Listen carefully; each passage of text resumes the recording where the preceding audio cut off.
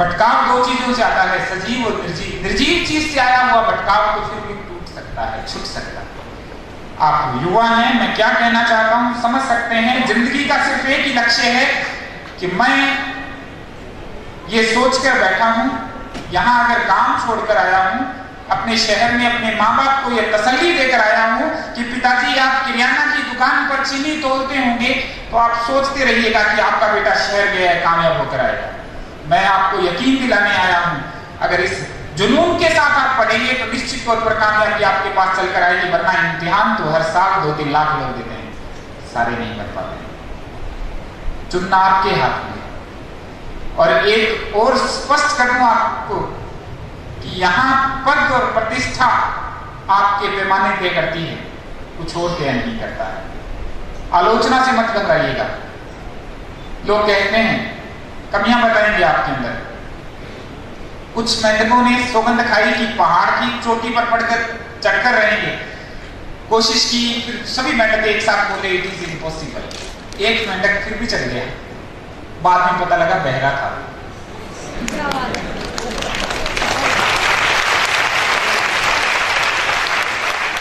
इसलिए कहना चाहता हूँ कोई आपके बारे में कुछ भी कहे, कैसा भी कहता रहे, अगर हमारा इरादा सही है तो हम बता देंगे सामने वाले को कि हम निश्चित तौर पर कामयाबी की राह पर दरिया तेरा रत्ती भर भी एहसान नहीं है मुझ पर। समुद्र को कह रहे हैं कि दरिया तेरा रत्ती भर भी एहसान नहीं है मुझ पर। मैंने जब भी पिया है, पहाड़ों का सीना चीर कर दिया है। अंतिम में एक बात हो। समय सीमा में मुझे बांधा हुआ है इसलिए मैं बहुत कम शब्दों में एक बात को कहते जाना चाहता हूँ। दिक्कतें सबके साथ होती हैं। किसी को फैक्ट्स याद नहीं रहते हैं। मैं याद तो करने की कोशिश करता हूँ, पर भूल गया कि मनमोहन सिंह ने चीन की यात्रा कब की थी। कोई बात नहीं। ये सारा का अब कौन सा सम्मेलन होगा, कहाँ होगा, मुझे याद नहीं रहता, कोई बात नहीं। हंड्रेड परसेंट बता देना चाहता हूँ कि फैक्ट्स के सहारे आप सफलता पा नहीं सकते। सफलता तो कंसेप्ट क्लियर क्लियरिटी से मिलती है। अकबर का जन्म कब हुआ? भूल गए तो काम चल जाएगा। पर हुमायूं को लड़खड़ाता हुआ राजा क्यों कहते हैं, ये जानना ज़रूरी सिद्धांतिक, क्यों का उत्तर जिसको आ गया वो कब का उत्तर नहीं आने पर भी कामयाब हो जाएगा तय बात। इसलिए अपनी समझ को विकसित कीजिए। और अंत में एक बात। कुछ लोगों को यह भी लगता है कि मैं जॉब करता हूँ, मेरे पास वक्त नहीं मिलता।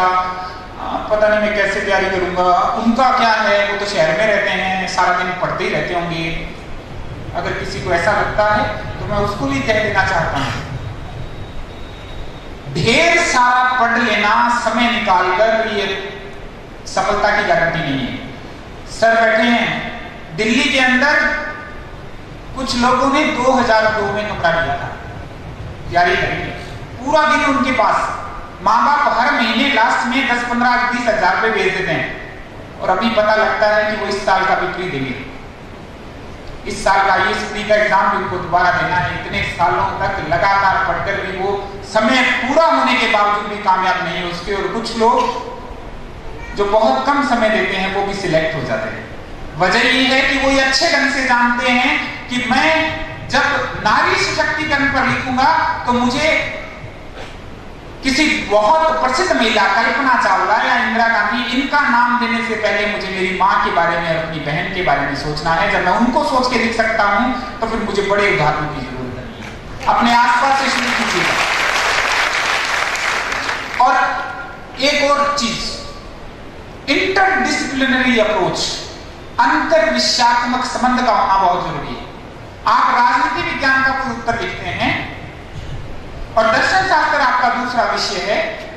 और अगर आपके पास प्लेटो पर लिखने के लिए राजनीति विज्ञान में कुछ आता है तो आप दर्शन शास्त्र की बात को उसमें डालना सीखें।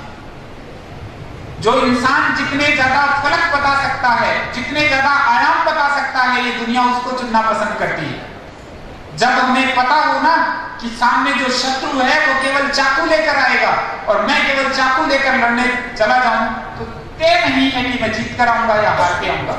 पर जब मुझे पता हो कि सामने वाला तो चाकू लेकर आएगा पर मैं तो चाकू के साथ, बंदूक के साथ, तीर के साथ, कमान के साथ, भाले के साथ, सभी प्रकार की चीज़ों से लैस होकर जाऊँगा तो निश्चित तौर पर इस विश्वास के सारे खड़ा रह सकता हूँ उनके सामने कि मैं उनसे ज़्यादा सशक्त हूँ, मेरे पास ज़्यादा आराम है कहने को, लिखने को और बोलने को। कभी भी किसी भी चीज़ के सामने घबराइए नहीं। आपको कोई चीज़ नहीं आती, पूछिए।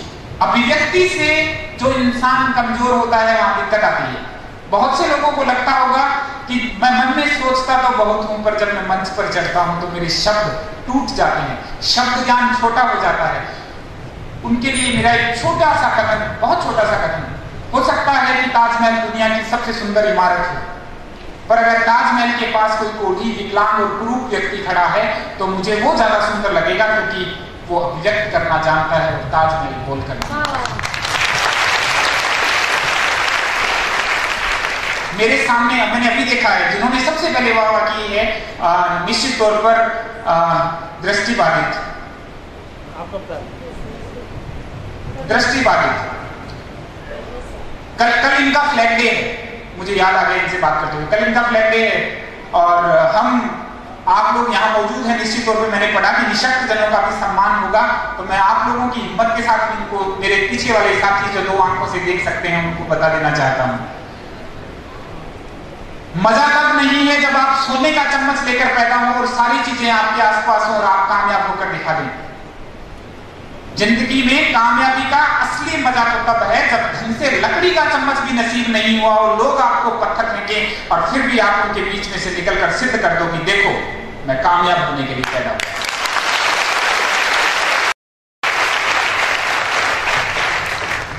तुझे दिल तोड़ने का हुनर आता है तो मुझे टूट कर जुड़ने का हुनर आता है। मेरे पंखों को कतरने की ज़रूरत है क्या? मुझे तो बिन पंखों के उड़ने का हो है हम उठेंगे। हम उठेंगे, हर माहौल से उठेंगे। हमें नहीं मालूम कि हमारी जाति क्या है। हमें मतलब नहीं है कि हम अमीर हैं या गरीब हैं। हमें पता नहीं है कि हम दसवीं में कितने परसेंट नंबर लाए थे। हमें पता नहीं है कि मेरा मीडियम हिंदी है या अंग्रेज़ी है, पर बस पता है तो एक बात का पता है प्रतियोगी परीक्षा के लिए निकला हूँ। मैं आम बच्चों की तरह परिणाम आने के बाद एक नई कसम नहीं खाना चाहता। मैं परिणाम आने के बाद दोस्तों के बीच, अपने परिवार वालों के बीच, उत्कर्ष की जिस संस्था के बारे में इतनी बात कही गई है, उनके निर्मल जी के बीच जब भी जाऊँगा तो हंसता हुआ जाऊँगा कामयाब सर के लिए सभी ने कुछ बोला है मैं तो जिस बात से सबसे ज़्यादा प्रभावित हूँ जो मुझे लगता है कि सबसे ज़्यादा कीमती चीज़ है आपके लिए भी, मेरे लिए भी, हर उस इंसान के लिए जो आज की ज़िंदगी में जीना चाहता है। वो ये है कि हम सदा मुस्कुराते रहे। बहुत छोटी सी बात है, पर बहुत कीमती है, आपको हौसला मिलता है। लोग परिस्थितियों का रोना रो लेते हैं, पर आपको बताता हूँ, कुछ लोग सेब का भी सलाद खाते हैं, और कुछ एक लोगों को मूली के पत्ते भी नसीब नहीं होते ये विडंबना है। ये विडंबना है कि सानिया मिर्ज़ा का स्विमिंग पूल में नहाती हुई का फ़ोटो लेने के लिए फोटोग्राफर को नब्बे हज़ार रुपए हेलीकॉप्टर पर फ़ोटो शूट करने के लिए दे दिए जाते हैं। और अहमदाबाद में उन्नीस रुपए की गोलियाँ नहीं मिलती और ट्रेन की पटरियों के पास एक इंसान दम तोड़ देता है। इस ज़िंदगी में आपको हर जगह विरोधाभास मिलेगा। पर अगर आप में जरा सी भी, जरा सी भी कुवत है और आप अपना रास्ता चुनने का सामर्थ्य रखते हैं तो मैं आपके साथ खड़ा होकर हर उस चुनौती को कह देना चाहता हूँ कि हम बढ़ जाएँगे आगे हमें रोकने की कोशिश मत करो। एक बार उस चुनौती की आँखों में आँख डालकर हम ये बता देना चाहते हैं कि मैं इसी क्षेत्र से, इसी माहौल से, इसी पृष्ठभूमि से, इसी मीडियम से, इसी परसेंटेज से और बिना चेक चेक के स्वयं बढ़ूँगा और जब मैं बढ़ूँगा ना तो सारे लोग मेरे आगे खड़े होंगे और मेरे लिए सिर्फ़ तालियाँ बजाने के लिए। होंगे और स्वागत करेंगे उस इंसान का जो हर मुसीबत से निकल कर आता है। मैंने लाइन में पीछे खड़े रहने के लिए जन्म नहीं लिया है। मैं चाहता हूँ कि मैं ज़िंदगी में उन लोगों में शुमार हूँ जो आगे हैं। जरा सा सोच का परिवर्तन करने की ज़रूरत है मित्रों मैं फिर कह देना चाहता हूँ अंत में। इस ज़िंदगी में सफलता सिर्फ़ एक चीज़ तय करेगी, सदा आपका हौसला। आप अनुतीर्ण हो गए, कोई बात नहीं। दोबारा हो गए, कोई बात नहीं। तीसरी बार हो गए, कोई बात नहीं। मैं भी बढ़ूँगा। मैंने अगर इस परीक्षा के लिए कसम खाई है तो मेरी अंतिम जो सत्य होगा मेरा, वो मेरी जीत के साथ होगा। सचमुच अगर आप ऐसा करेंगे तो अगली बार यहाँ आपका नंबर होगा और आपको सुनने के लिए लोग। मैं उम्मीद करता हूँ, मैं उम्मीद करता हूँ कि आप सबका स्नेह जो तालियों के माध्यम से आप मुझे दे रहे हैं, ये मुझे देते रहे। मैं सदा आपके साथ हूँ जब भी आपको लगे कि मुझे कोई भी परेशानी है, आप मुझसे पूछ सकते हैं। वक्त, समय का तकाजा थोड़ा सा देर कर सकता है, पर आपको जवाब ज़रूर मिलेगा।